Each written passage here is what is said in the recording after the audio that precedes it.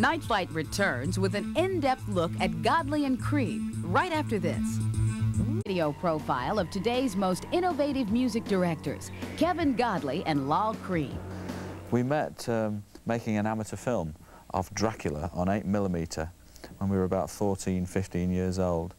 And I was the director, in inverted commas, and I was looking for a, a hunchback. And as everybody out there knows, there is no hunchback in Dracula, so that was our first mistake. There is now. That's right.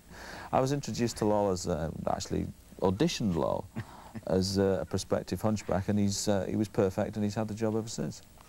Typecast. I keep the hump in a jar at my home. engagement, if you like. Steve had just joined uh, our record company with the band Visage and was looking for somebody interesting to direct. He didn't want to use anybody that existed already. Saw our storyboard and asked us if we'd work for, work for him doing his first promo, and uh, we did, and it was a hit. And uh, the rest is uh, history, huh? history. It's video history because uh, we were saying that that video had a radical effect on videos per se because it was actually acknowledged by a record company who was in doubt and speaking for the whole body of record companies in this world that, that there was any point in spending two or three thousand pounds to make a film or video clip for a, for a record when there was only two or three shows that they could get it on. 81, the controversial video for Duran Duran's Girls on Film directed attention towards Godley and Creme. Uh, it wasn't our style, it wasn't our sort of way of doing things. And when the manager came and asked us to do Duran Duran, and specifically asked for it to be a controversial video so that it would have an effect, and would we please use sex? We said yeah. I mean, we just approached the band and, and the style of every band, every group we do, is, I suppose, I mean, as you were saying before, we'd try and find an image or a slot for that image. I mean, I remember thinking that there were good-looking kids and they were going on that, that level, and we thought it would be good not to have them in the video too much, but by association with where they were. So mm. in other words, because they were seen next to all these gorgeous girls, that it, the kudos of being in that situation would rub off on their image. Different approach for each video, at times inspired by extraordinary circumstances, as with the police's Every Breath You Take. We saw this amazing synchronistic coincidence as it happens. We saw this, we were leaving to meet them in LA, and the night before we left England was a program on television about, in the 40s, there were film jukeboxes in America, jazz, black jazz bands, and there were beautiful black and white studies of these bands, and uh, Cab Calloway and, and uh, all the, Duke Ellington, great things. And it's, we thought, that's a lovely look. The, the, the, photography, they were using these great Hollywood cameramen and things, they looked sensational. And then that was registered. Anyway, we went to LA the next day, and Sting and um, said, I've got something to show you. I don't want to say anything about the video, but I just want to show you something. And he took us into the back room, and he, they had um, what was it called? Uh, he had Jamming? a film, Jamming the Blues. Jamming the Blues, which was one of these clips. Can you believe it? It was one of these clips. And the rest, you know, it's like history. We agreed.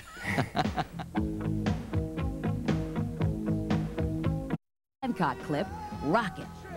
We had to find out who was this person that built these robots. And we visited his house. We visited this address in North London. My God. And what it was is it's like a, there's a, a slum and there's this door, and the, the front door had these glass panes, and one of them was cracked. And we looked through this dirty, cr cracked glass, and what we saw was these a hallway with these torsos, torsos and, and heads with beaks on them and, hanging there. And I thought, wow, this must wow. be the place. And we rang the bell, and this thing came to the door with eyes like a hatchet murderer.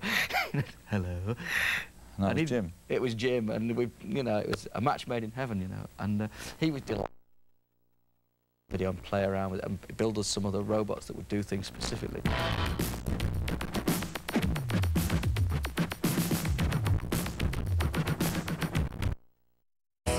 TT, they're into a kind of commercial anarchy and they they let us get in on that situation. They they said, you know, you know, do what you want here. It doesn't matter if people are going to ban it. We'll use the fact that people are going to ban it. In fact, we're not going to let the BBC have this one. That's right. You see, they'd banned Relax from the BBC, so Paul Morley decided he was going to not let the BBC have this video.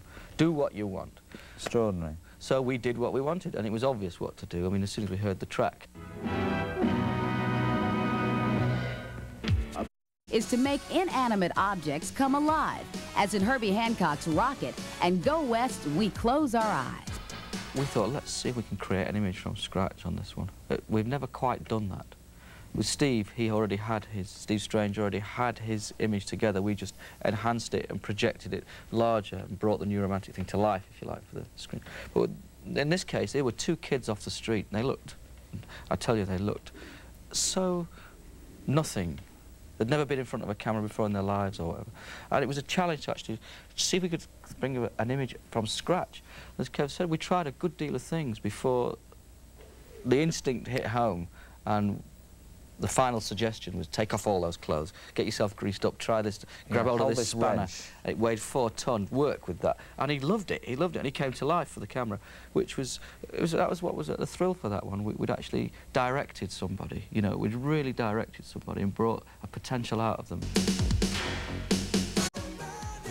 We're trying to surprise our eyes, I think, all the time. Yes. It's part of our sort of uh, prime directive, to use a Spockism, that um, we have to innovate all the time. I don't know why we feel that, but every time we go into a project, a film project, a video project, there has to be an element of innovation involved. I mean, we've done that with everything, even our music's like that. We, we can't help it. When Sting launched